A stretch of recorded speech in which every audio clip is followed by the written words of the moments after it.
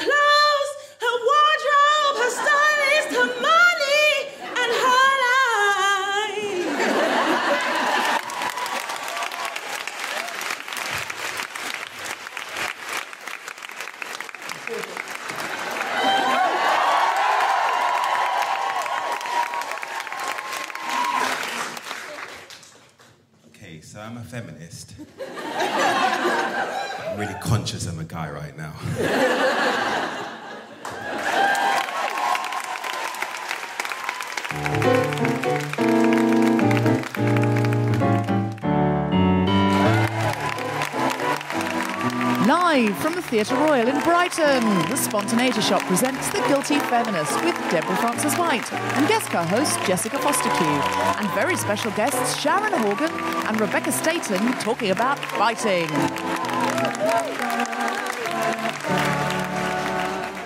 Welcome, the BIG Gospel Choir.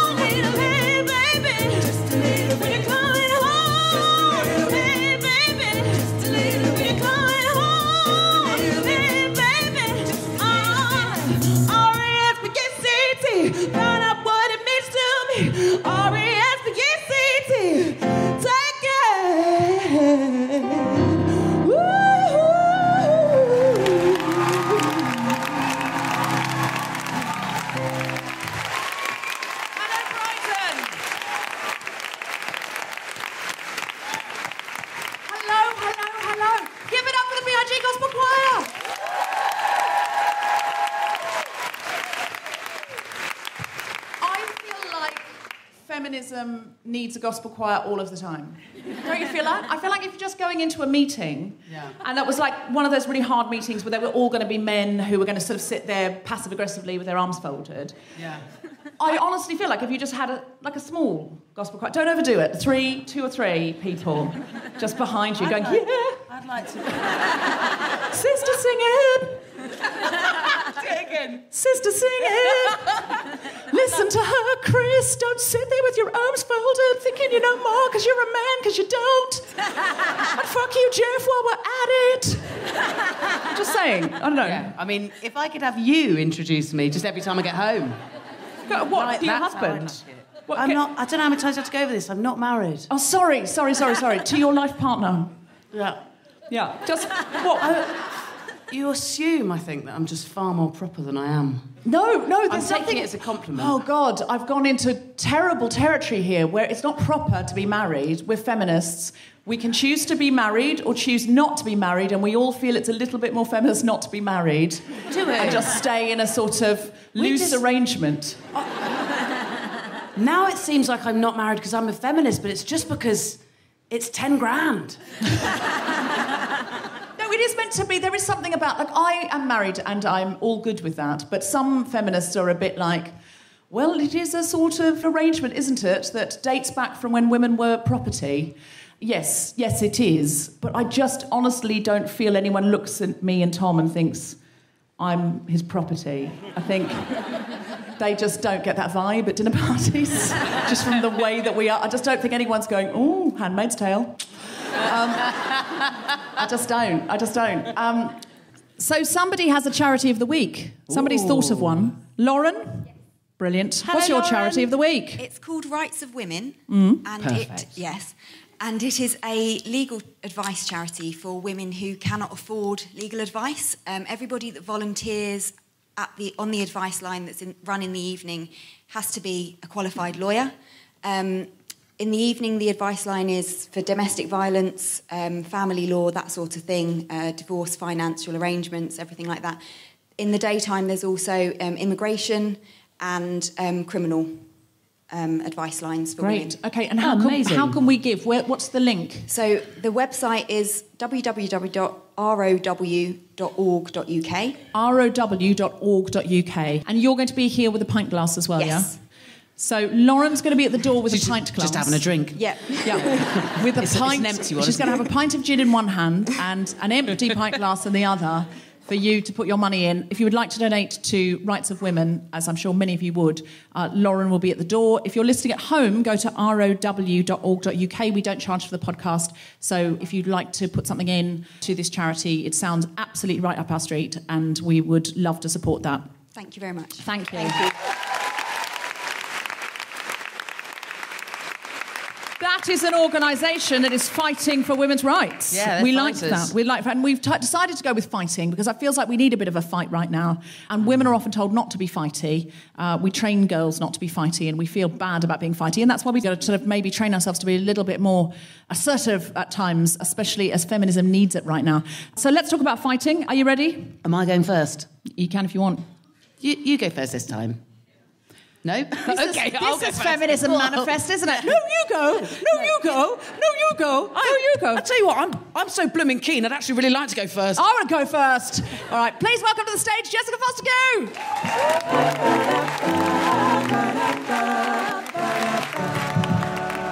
Hello.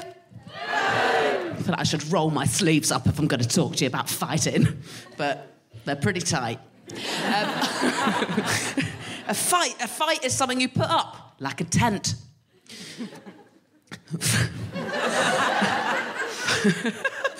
Fights, just like tents, in my experience, there's two types. First of all, there's one type of fight that I have. I call it the pop-up fight. Um, these uh, fights are usually small and they're just for one or two people. Just as quickly as you've undone the straps of the situation, boing! They've popped up into a fully formed, oh, come on then, fight. and despite the fact that the fight has become fully formed in just a flash, these types of fights are insanely complicated to put away. Um, take ages and ages, a lot of patience, and normally, humiliatingly, someone else's help. Um, the other type of tight, uh, tent, fight, tight, are the bigger ones, the more intentional ones, the more in control, group effort type fights. These are bigger. You wouldn't bother with these if you didn't think that it was worth it. These are the ones with all the poles and the kitchen area, by which I mean the emotional confrontations and the big campaigns for things like justice. Here's where I realise I've taken the tent analogy to its limits. Um, I have a lot of fights. Not all of them are the kind that are helpful. My whole family love joking that my baby son has inherited mummy's rage. Um, and I think uh, uh, we've touched on it briefly there. I think as a, a teenager and probably into my 20s, I felt ashamed, I suppose, of the amount of anger I had because it felt like it was very big and loud and very ungirl. And now I feel really proud of my rage, even when it's totally unjustified. um, my um, partner and I do some really good fights.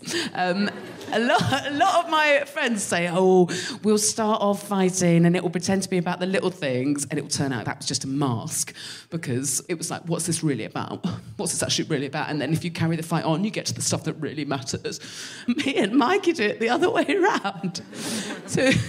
I'll give you an example. We'll start a fight about something really justified. I think this one started about childcare and money, and we'll rejoin it at this bit. I'm just going to act it out for you. Look, Mikey, let's just forget about it. Excuse me, can you stop using my name during arguments? That's, actually really patronising. yeah, I don't mean to be patronising, it's just you're winding me up more with your fucking pedantry. Listen to yourself. Listen to your tone. You're the one who keeps flouncing off. You are the aggressor. No, Mikey, actually, you're just tired, and because of your complete lack of self awareness, you have no idea when you're being the unreasonable one. No, actually, you're the one being totally unreasonable. Are you sure you're not hungry? oh, fuck you!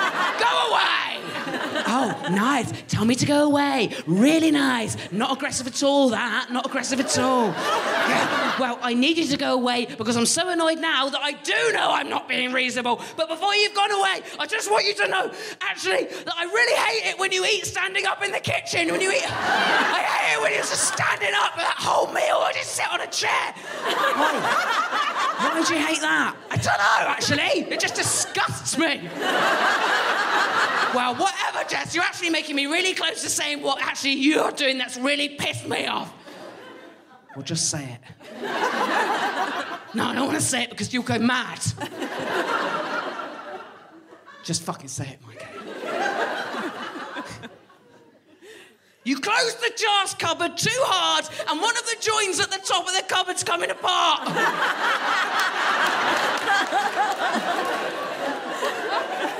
just, just close it like a normal fucking cupboard.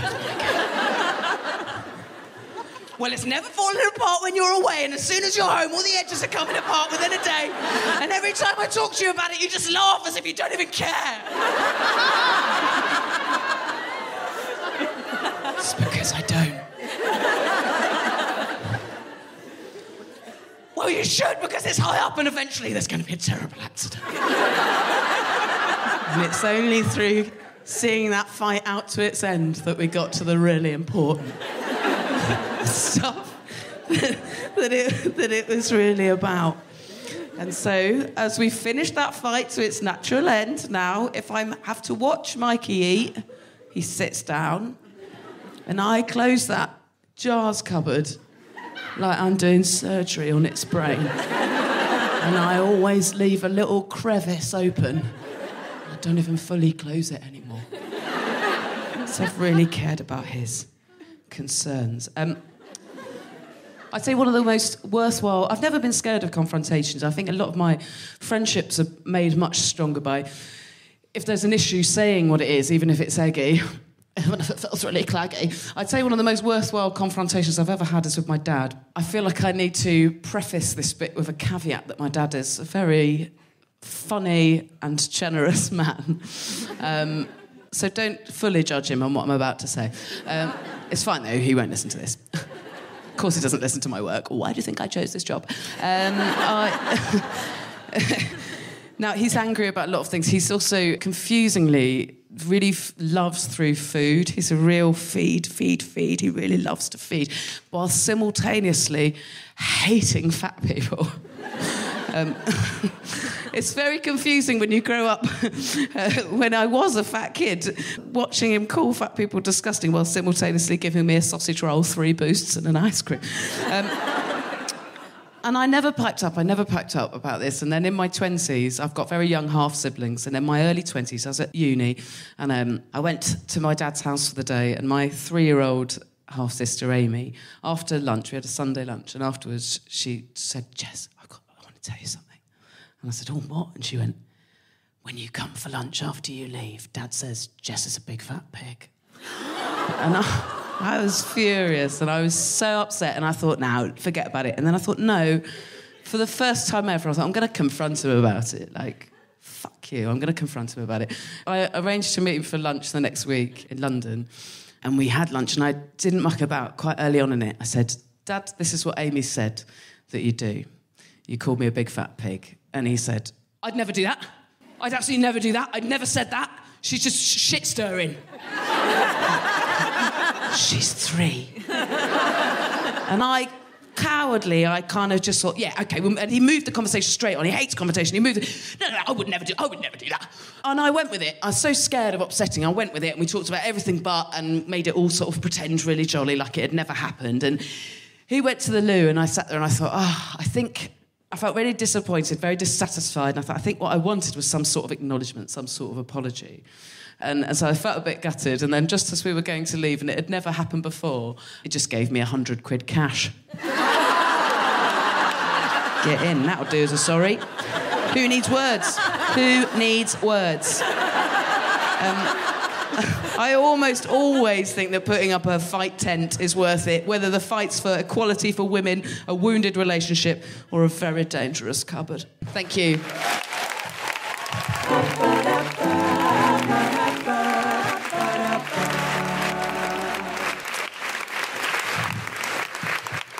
your three year old sibling yeah. saying that reminds me of someone I know where their very small child was staring at their grandmother while she was drinking a cup of tea like this. And she was like, What are you looking at? And he said, Daddy said you drink like a fish.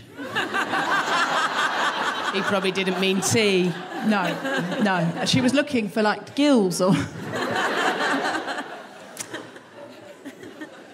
So we found out backstage we accidentally did the same challenge. Um, yeah. We both went to kickboxing. Oh, to... mine didn't have any kicking. Oh, did yours not? yours had, yours had boxing. Yours yeah. boxing. I do lots of yoga, which is all very om and peace and you know breathing. And I just thought it's not very fighty yoga. I mean, that's one of the main things about it. One of the key tenets of yoga is stop fighting. If anything, you're pretty vulnerable in a downward dog. That's true, actually. That's a great. I'm surprised there aren't more yoga class muggins. Yeah. so anyone ideas? Yeah, yeah. So I thought I'm going to go and punch something. Um, so I did a kickboxing class, and I have to say it was incredibly liberating. And I'm definitely going to punch things more often. It just gets something out. Mm. I mean, I would say do it for me. I need to do it with a balance of yoga. I'll always be more yoga than punching. Will you? Yeah, yoga's I'll my be the yin place. to your yang, mate.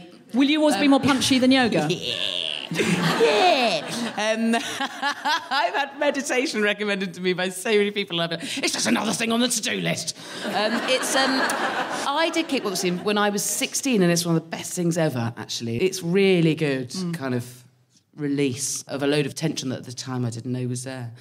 Yeah, I went back to a boxing class, a boxing fitness class, and the first time I went, there was only three of us in the class, and I cried and puked. Wow. So it was a challenge to go back, and it. yeah. I mean, I'd mentioned it on another one of these podcasts. I said, I'm, I'm a feminist, but I tried a box fit class and hashtag this girl can't. And you said, but would you go back? And I was like, yeah. And I thought, I wouldn't. But I've said it now. So it's this weird thing where I'm walking into this room where the woman's looking at me like, really? Why have you come back? Like, oh. and I look like I was like, bring it. I like that kind of pain. I like humiliation. Bring me more. But really, you know, all the while going, I'm only here for a challenge for a podcast. You think I'm like Rocky, like spoiling for more punishment. And actually, the second time, it was better, but only because like another 25 people turned up. And as they were all arriving, I was like, Have you guys done this class before? It's horrid. Like, I just had a little gossip with everyone before. Were you were there undermining people at the door? Yeah. Going, you're going to oh, I just this. wanted some support. I just wanted some an army on my side. And did you feel more powerful when you did it? Just being honest, I haven't thought this through. There were just more places to hide. She just wasn't watching me the whole time because there's more people to look at. Oh, I see bigger class. And there was because it's a bigger class, so not as much room, way less skipping, and that was the bit I'd hated. I've always hated skipping. I've hated skipping since first school.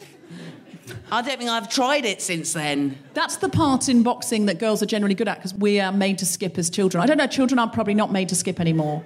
Do you remember when we had to skip? And oh, it was just part of, if you wanted to be in with girls at my school, you had to skip, you had to hula hoop, you had to play jacks. That's how We went. weren't made. I grew up in the countryside, and we had to do country dancing. Did you? Yes. I'd like and to I see that. to. I always got paired up in Naughty John. Oh, that sounds quite fun. no. I don't know why. Maybe this is on topic for fighting, but it's probably the, one of the worst things I've ever done. But when we were at first school, Naughty John, and this is part of it, classic Naughty John, he would repeatedly, when the teacher wasn't watching, and we were all kind of milling around, um, he would, every time I went to sit down, he'd pull my chair away just before I sat down, and I'd sit on the floor. And it happened two or three times, and I was utterly humiliated. For my revenge, I kind of overdid it a little bit, and I stabbed him in the stomach with a sharp pencil. Oh, Yes. I wasn't allowed. I don't know why that's made me remember it. But um, Fighting, I- fighting. Yeah, it's fighting. So that was I your- wasn't, that I was wasn't your- allowed to go out at break times or lunchtime for I think like a week. I had nightmares about it. They made me not included because of my terrible violence. but I think I think girls are punished more for violence. I think there's a boys will be boys attitude. There certainly wasn't my school, where boys would fight all the time and people would stand around going fight, fight, fight, fight. But if girls were doing that, I mean, that would have been a, like a, a shocking thing. Yeah. But do you know, the only really proper good actual fists hit faces fight I ever saw through all of school, and I was at uh, mixed schools all the way through and comprehensives, was in the sixth form, two of my friends, two women, girls, women, 16 year old girls, 16 year old women, girls. What? And they they went at each other. Yeah. Actual punching in faces. Wow. Wow. Yeah. You liked it, And didn't you? I, we did. We all really liked it. And the, the way that the teachers dealt with it was to drag them both into a room and shut the door. So they just carried on in there. Wow. You could hear them throwing each other against walls. Wow. Sometimes you just got to fight it out. Um, Fabulous people of Brighton, would you please put your hands together and welcome Deborah Frances White?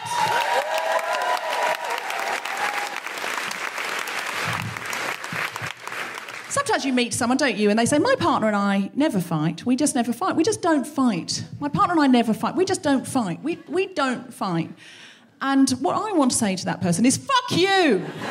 fuck you! Fuck you! And that's why I'm not married to that person. Uh, quite clearly. But not fighting is not an indication that your relationship is healthy. There was a book came out a few years ago. There was a study by a chap who could watch you and your partner chatting and predict if you were going to be together in seven years' time incredibly accurately. Like he was so good at it. And he broke it down into three things: couples that turn towards, couples that turn against, and couples that turn away. Turning towards and turning against are the good ones, turning away, not so much. Your marriage will not last, or if it does, it would be awful. So, this is turning towards. Your partner says, Do you fancy going to the cinema? I'd love to go to the cinema. What shall we see? This is turning against. Would you like to go to the cinema, darling? No. I would not like to go to the fucking cinema because I'm tired. I explained that I was tired when I came in, but you did not listen to that. And you don't have to get up at six o'clock tomorrow morning again, do you? No, you can sleep until lunchtime because that's what you do. So why don't you go to the fucking cinema with somebody else. And do not tell me what you saw because I don't give a fuck. and turning away is, would you like to go to the cinema? What else? Don't care. That one is worse than the second one. Couples that turn towards or against are healthy. So if your partner says, Did you not get round to doing the hoovering then? the better response is, No, cockface, I didn't. And I'm never that is better than what? I don't know. No. That is honestly better. Your relationship will last longer. And we all know people. We all know people who shouldn't be together. We all know people who you think, how has that relationship lasted? They're awful together. Some of you may be thinking of yourselves. sure.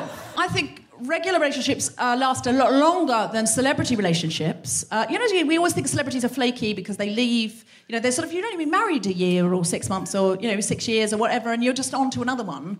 But I honestly think more of us would do that if we had that celebrity option. Because when we fight with our partner, like that really bad row that you have like once a year, is that just is that just my relationship? Who has a nuclear row once a year? Yeah, yeah, great, thank you, thank you. They're coming out of the closet now.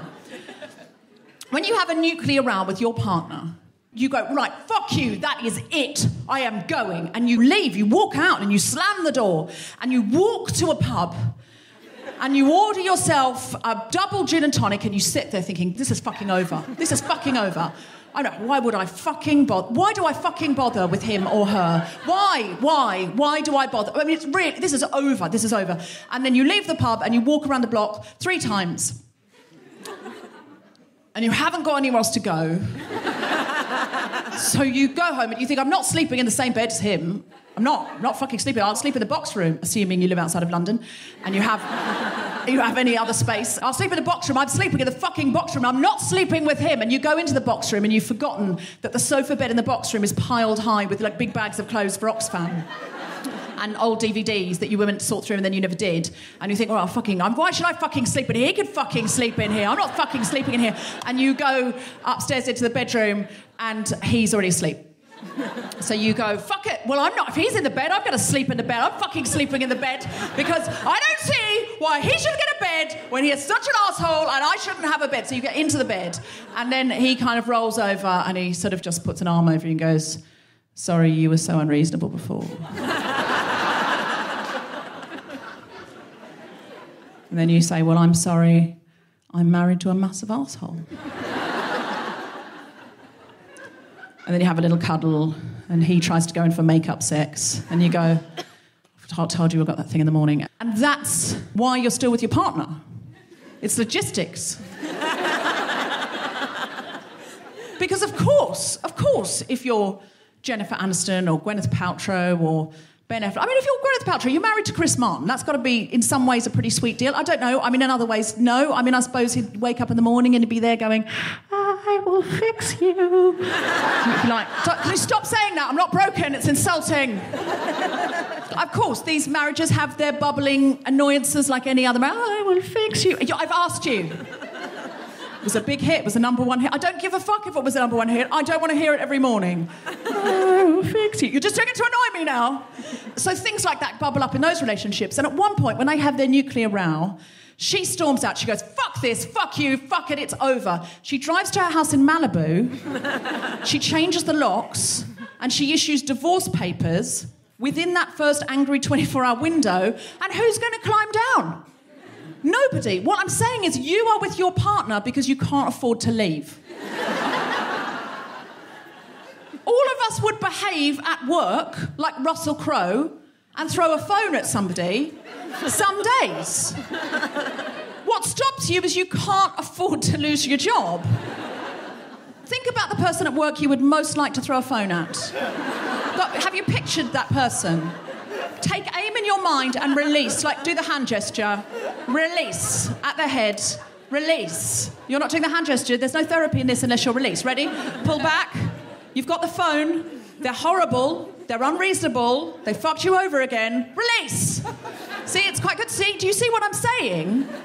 Is we would all be fightier if we could afford to be. But and I think now feminism is coming into a time when we do need to be fightier because because of austerity. There are many women now who can't afford to really can't afford to leave, and by I mean can't afford the bus fare. My friend, I've got an Australian friend, and she always says in any relationship or work situation, she has what she calls her JGF fund, stands for Go Get Fucked Fund. So she can just walk out the door. And a lot of women do not have that because of austerity. They don't. They are in a bad relationship. So we need women of influence. If you're in this room, you have some influence because otherwise you wouldn't be at a podcast show about feminism. So we need to get fightier now. We do need to get fightier. And sometimes there's a sort of stereotype of the angry feminist, the fighty feminist. Like there's a stereotype of the angry lesbian or the angry black woman. But the thing is, fightiness and anger are a product of exclusion. It's what happens if you're routinely excluded. Most people who are routinely excluded will self exclude, but some members of that tribe will go, I'm sick of you excluding people like me. I demand inclusion. That will happen. And that's what the stereotype of the angry feminist, the angry lesbian, the angry black woman is. The more often you're excluded, the more routinely excluded, the more angry you might get. And if you don't think white men get angry when they're excluded, try starting a women's network in your industry. Try starting a women's cinema night. Try starting a women of colour writers group and see if white men don't get angry when they're excluded. Because there's nothing particular about feminists or black women or lesbians that are angry. It's just that fighting for change looks angrier than fighting for the status quo. Thank you very much.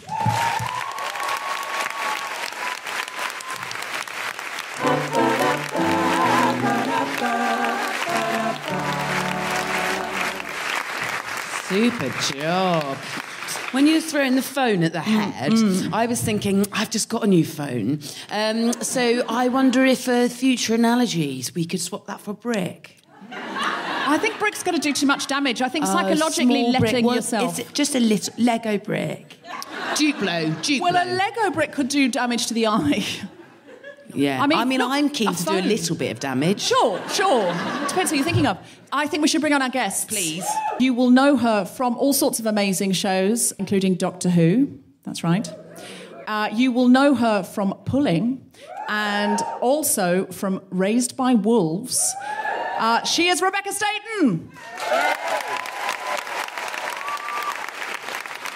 And with her, someone we know and love who created Pulling and also created the wonderful catastrophe. It's Sharon Horgan.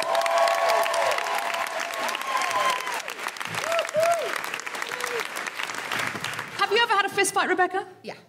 Oh, tell me. One of the things I'm most proud of. Has anyone ever been to the press club in Manchester? Yes. Oh, that lady. um, it's um, it's an establishment that is not, shall we say, impressive. It's a little bit murky.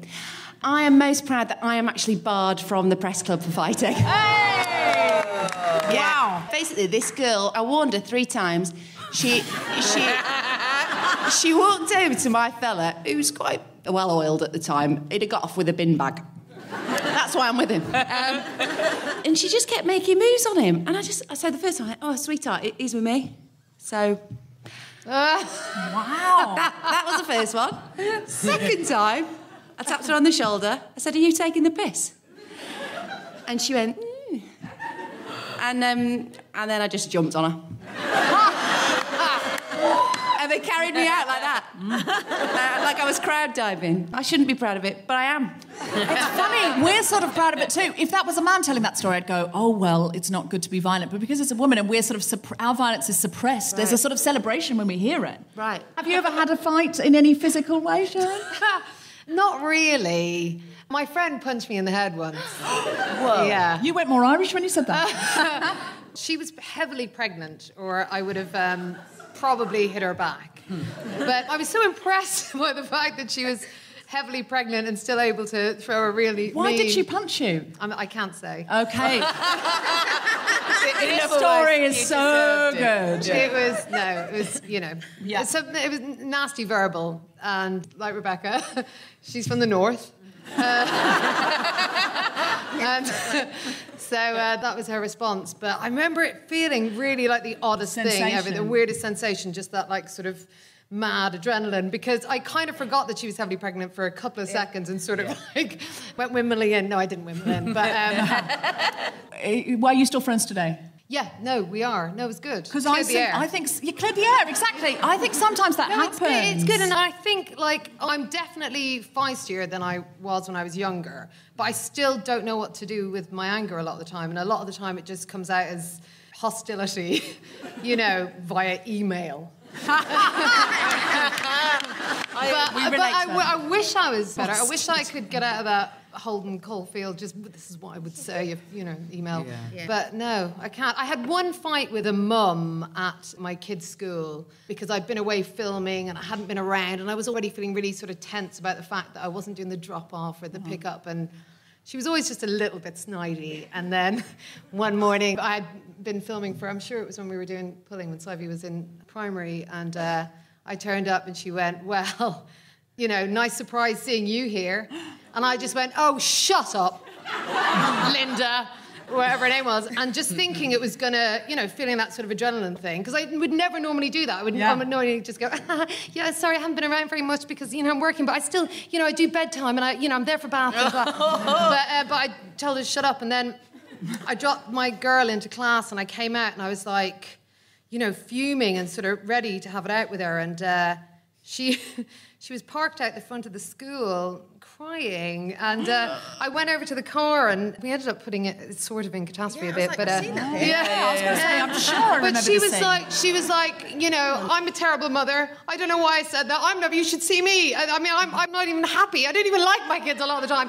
I went into this full blown, you know, and I ended up like hugging her through the window, just like, and so that was good. That cleared the air. It's interesting sometimes how that happens. My friend Justin Rosenholtz, who's a who's an American, so slightly Dorothy Parker, she always says to me, "You never know how strong your friendship is until you've had a fight with someone. Yeah. Mm. You don't know because if you fight with them and you never see them again, you know they're not a real friend. So you've sort of got to have a fight. And I've thought at some points in friendships, I don't know if you're a real friend. Maybe I'll pick one, and we'll see. I haven't really, I've really, I've really I, done that. I do that. With my, are you my real husband? I'm going to uh, I'm going to pick a fight with you Yeah. and find out. I think It's it needs to reach its full conclusion to get that satisfying kind of thing where you've built that stronger relationship off the back of the beginning of the fight. Like I think I had some anger management once um, as part of a job where I was for years I was a zombie in Madame Tussauds. wow. really kicking it as an actor. and um, basically, like, really gorily done up in the dark, jumping out at people. And the idea is that you really, really scare them, and you do, like, this ridiculous boot camp of auditions to get in where you have to develop this character that's really horrible and really, really terrify people. And it's great fun, but as part of it, because often people in there, like you say, like, in the moment when someone does you feel attacked, people would really badly hit I was like oh. smack you back. And so they gave us this massive. We all had to go through this really long anger management training, so that if we got hit, what to go and do to go and get rid of it. And I remember being surprised that it wasn't anything about calm, meditative. Like there was no deep Was it masturbation? yeah, basically. You're all thinking it. You're all we all had a dark room, couple of shots of Calpol, and a wank. There we go. Yeah. Um, happy zombie, happy zombie. Happy zombie. No. It's basically star jumps, Really? which is the equivalent, is it not? Was it star jumps? Yeah, and like going up and down some steps until you're really sweaty. They time you that you were definitely knackered, so you had all of your sounds, adrenaline gone. That sounds really Handmaid's Tale to me. That Could like go back in and you've get just been beaten on the job by a customer, Yeah. and you're probably on you know five quid an hour as an actor. Now, because you've been hurt, you're going to run up and down some stairs until you forget. Till the pain of running up and down the well, no, stairs. just you knackered all your adrenaline Yeah. out, so you haven't got the strength to fight back. I'm not sure about this at all. And then you really are a zombie. Yeah. I've had some great jobs. I've noticed more fighting feminism in the last, like we've all seen it, like in the last couple of, you know, certainly since Trump and Brexit, everyone's gone fuck, and we're out on the streets now a lot more. Is that going to escalate? Hopefully not, because that means everything's just getting worse and worse. But I mean, I definitely think certainly there's a huge movement in the US with women just being prepared to sort of get themselves arrested, you mm. know, to make their point and get noticed. So I think there's definitely a kind of fearlessness now because everyone's so angry that they kind of think, fuck it, what's the worst thing that can happen? Yeah. How bad would things have to get? Would you ever smash stuff up and go to jail? If I needed some time off, yeah. Yeah, smash whatever you want. Yeah. What do you want smashing? Let's smash. When I feel depressed uh, about, about the world, I comfort myself, and, and this is only relevant to people who've seen Raised by Wolves, sorry, but the girls who- who play my daughters, especially the older ones, are so bright. Mm. And they're way more intelligent than me, and they're better educated, and they are so politically motivated that we're going to be all right. That's, I just want you all to know we're going to be all right. The girls have got it covered. Yeah.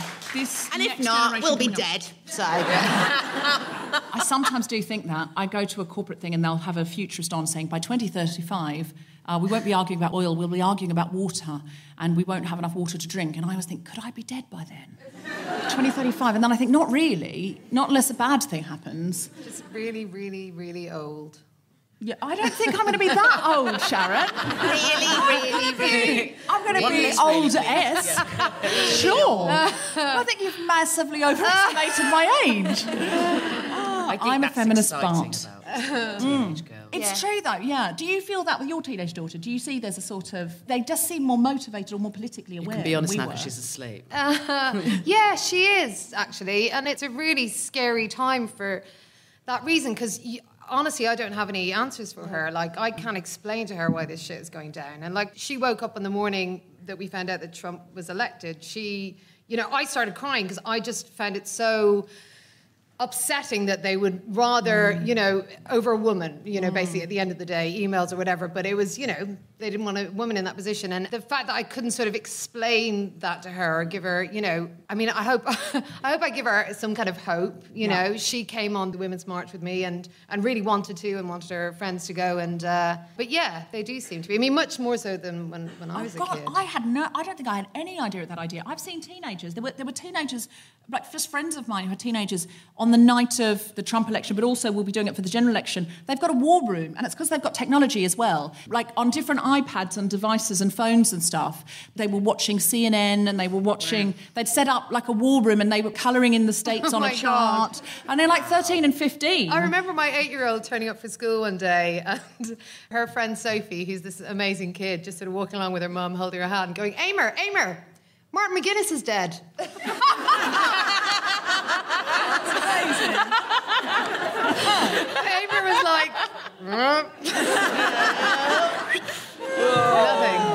My friend's kid came home and she was saying she was only like six, and she was saying, I think it was maybe, it must have been when the, the Tories got in last time, and she was saying, they, she just heard them all talking that the blue ones got in and we don't like the blue ones.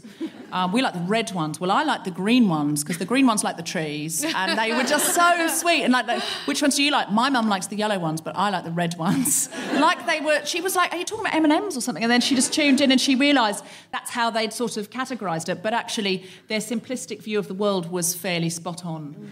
Ca- that's like simplifying it like that. I'll never forget when I grew up. There was people had spikes in their garden with who they were voting for, like, and it was quite like basically where I'm from in Dorset's complete Tory stronghold. But my parents weren't, and I remember asking Mum, like that young, like, "What's the difference then? Can you just explain to me what the difference is?" And I, she basically was just like, "Well, the Tories want rich people to get richer, and the Labour ones, the red ones, they just want everyone to all have the same or enough." And I was like, "Why would anyone?" Go and vote for the Tories. And she was like, I don't know. I just don't think my opinion's really changed since I was five on that. If you, sometimes you boil it down to that simple. It's yeah, like, it's oh, pretty well. straightforward. Um, if you have any girls, Rebekah, will you teach them to be a bit fighty? Yeah. Would you like them? How do you deal with that with girls? Because if you see them being violent as children, obviously we, we don't want children to be violent. But I also think if I had a daughter, I'd sort of want a bit of scrappiness. I'm sorry, Deborah. I've just got to stop you there. I don't have a problem with if a kid comes over to my kid and hits my kid, regardless of my kid's sex, they should hit that kid back. You are like the mum in Raised by Wolves, aren't you? No. an eye for an eye makes the whole world blind. If you're listening at home, Rebekah Staton is punching her palm repeatedly. no, I just, I've got older brothers. So, you know, if I hadn't learnt to handle myself, then I would probably not be alive today. and you think I'm exaggerating, but I remember my brothers coming up to me and going, We've made this swing. it's amazing. There's this piece of wood. Don't worry about the nail that's turned the wrong way up. What we're going to do is we're going to swing you. You can go first. And then we're just going to see if you hit the nail. Oh. right? So it's important that I learnt to handle myself. What so was if I your have girls, response to that? She just I was like, cut all out right. and chopped the Oh, yeah. I was like, all right. So my I did it. sister used to do those things to me, though. My sister used to, she was four years older, and you're just so much cleverer when you're four years older when you're a kid. And she used to make me eat chilies from the garden. We got this beautiful doll's house for one Christmas. And, you know, we weren't sort of super rich or anything, but it was, so it was a really big deal that we had this beautiful Swiss doll's house. And it was all sort of like little carved people, this family who lived in it. And she said, We're going to play a game now called Rich Man, Poor Man. My dolls are these dolls, and they live in this rich house. Your dolls are two cotton reels who live under the piano. and she basically, she would have voted blue at that age. She would have voted blue at that age. Not now, not now. And it was always this game. She still, we still joke about it to this day that I was always poor man. Should have really been poor people. I look back now and I feel ashamed. Uh, but the game was that her dolls would come and visit mine under the cotton reels under the piano and go, "Oh, you don't have much." And then mine would go and visit hers, and she would show me around the palatial mansion, and basically just show the fuck off. Uh, that was the game. Um, girls can be very cruel. Like there was not This a is- lot. yeah, this was what I was going to say. What I found difficult when I went to school was that the law of I don't like what you've just done, bam, uh, it's over, we're friends, that I had with my brothers, did not work with these new relationships that I was forming with girls. So I, I didn't really make friends because it was so sophisticated, the way girls fight. And mm. What, they didn't respond to you, like, wanting to go piling in? no, they, they, were- yeah, I can't believe it. Coma. I What were they thinking? No, but you know, like the oh well, you know, you can sit by Stacey today, yeah, yeah, yeah. but you can't go to the upper sixth with Laura because she's already going with Becky. I honestly don't know how girls don't end up hitting each other. Right? I mean, at that age. Oh, Because it's it's so many. so. Tactical. Yeah. They're so bright, though. I remember that sort of tactical alliances but and stuff. I'm I gonna was tell always you a on the wrong secret. end of This that. is really bad, right? To take my revenge because I really fucking hated them. I found some little plastic bags. You know that sometimes you could put buttons in, but they also look like the kind of plastic bags that you could have drugs in. Yeah. So I got some icing sugar. right? This is Machiavellian. I put it in all the bags and I went, oh, you won't believe it. I found it under my brother's bed. Do you want to try it? Well, there was a queue. Ten girls, right? Cut to 20 minutes into lunch. Oh, can you feel it? Can you feel it? Is your heart going funny? Is your heart going funny? Oh, God, I'm going to pass out. I'm going to pass out. It's the drugs. It's the drugs.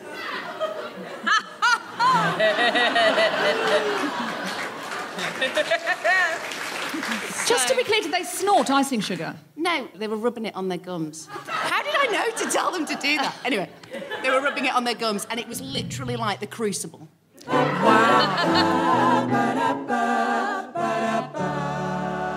Okay, have we got a question up here? Hello. Hello. Hello. You were talking about fighty children, about not wanting to encourage your, your hypothetical daughters to get into fights. Now, I was quite a fighty child. Yes. I would very routinely get into kicking, punching, screaming fights with the young boys at school.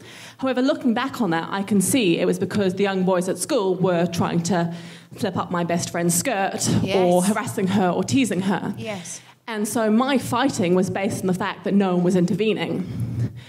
And I think, so looking back on that, I'm quite shocked at the fact that there was a very boys will be boys attitude that was left to the girls in the class to police themselves vigorously to prevent.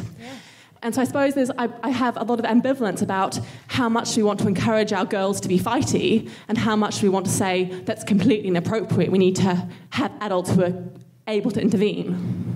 Wow, so you were like a feminist superhero as a child. That is the view I like to hold now, yes. Yeah, you had a cape. If we'd been friends, you could have protected me. Yeah. I wouldn't have needed the sugar.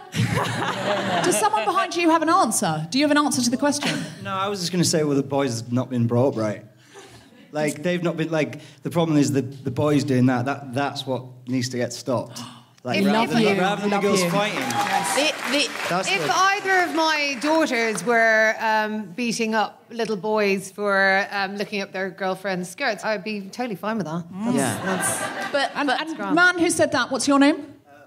Oliver. And are you single?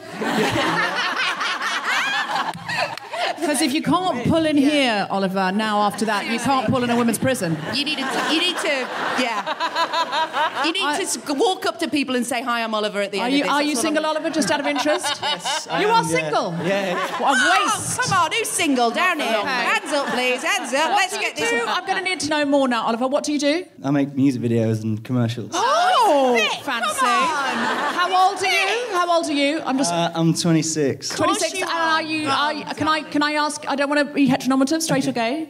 Sorry. Straight or gay? I I'm don't want to be yeah. You're straight. Yeah. So we have a straight 26-year-old super feminist music video director who thinks it's all men's fault. What, this Do I- fit. Do I have Who's going to give me a hundred a pounds? hundred? Do I hear a hundred pounds? Do I but, hear? but now, now let's play the video where he talks about his secret hobby. Well, Oliver, where will you be after this? Uh, probably just having a drink. Where? Uh, I, I, I don't know. It's, having a- Are you falling apart? He's falling apart. This is so aggressive. Oliver, What is from this angle, what's really nice is the word bar. It's just above your Yeah, head. yeah. So uh, I think that's where you Oliver should be. will be in a bar. If you can find him, you deserve I'll be him. knocking about like around, I guess. You know. Oliver's fallen apart. I don't want to pressure you, Oliver. I am. I'm genuinely trying to find you a wonderful woman because I don't. There aren't enough Olivers in the world. What the fuck is going on? I don't know. Just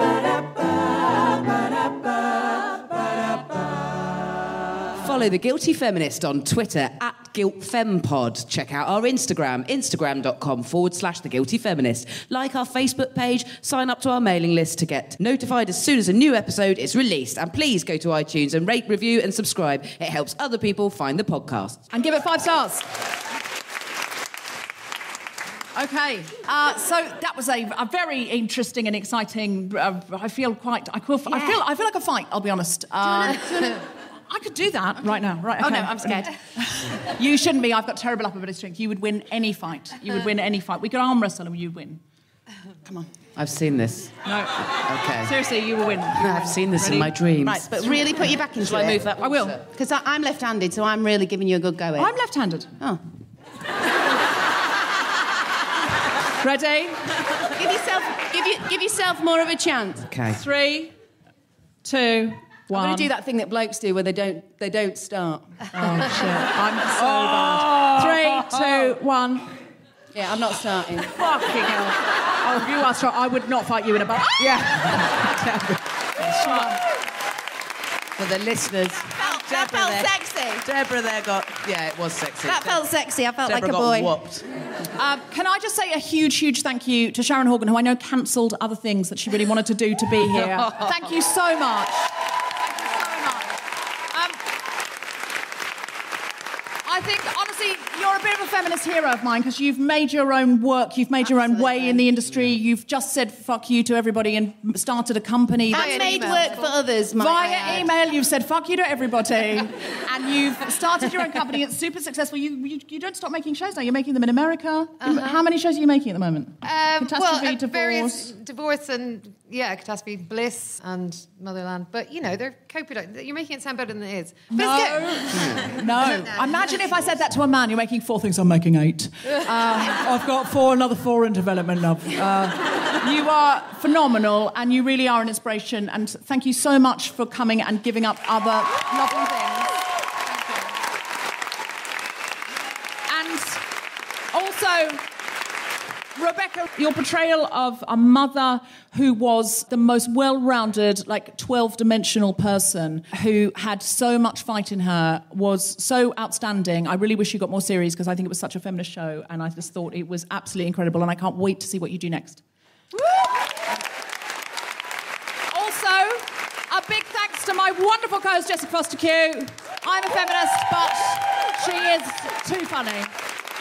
She's just too fucking funny and brings it all onto the stage. I'm just always in awe of any of my co-hosts who come along, but Jess, I just absolutely adore. Thank you so much for coming with me. And a big, big thank you to the Theatre Royal Brighton for giving us this amazing establishment, um, which normally has posh plays in it, and uh, they're slamming it tonight with us. Thank you to the Brighton Festival for having us, for hosting us, and a huge, huge thank you to the BIG Choir.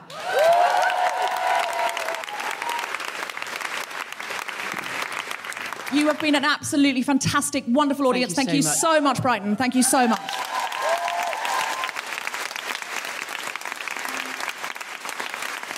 Sharon, what show of yours should we watch? Oh, um, uh, Motherland. Watch Motherland coming up. It's going to be absolutely amazing. But I've no idea when. Also, can I just say that when I was mentioning a bunch of shows, I didn't mention my business partner, Clelia Mountford, who does it all with me. And so, you know, that was another. Uh... Clelia is amazing.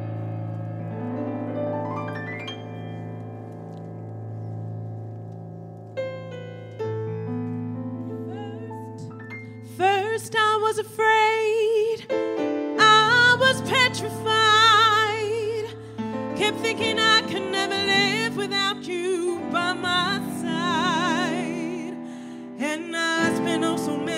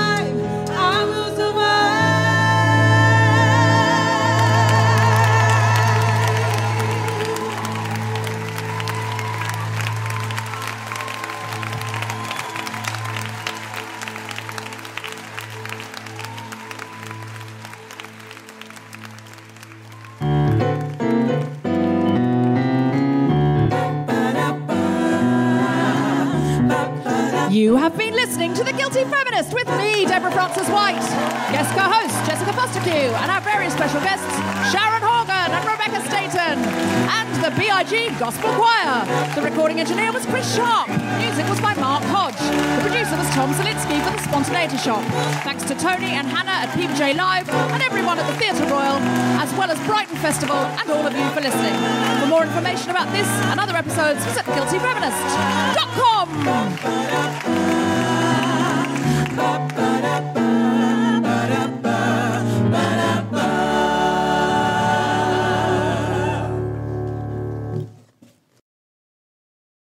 Have you ever secretly taken Calpol? Um, You've had nothing else in the cupboard? I don't think so, only because it wouldn't be worth it. Like Night Nurse. Yeah. Sure. Bring it. Down it. Down it in one. That's The old- absinthe. Isn't that just absinthe? If you mix it with absinthe, it is, yes. It's actually, it's actually very addictive. Yeah. Uh, oh no, completely.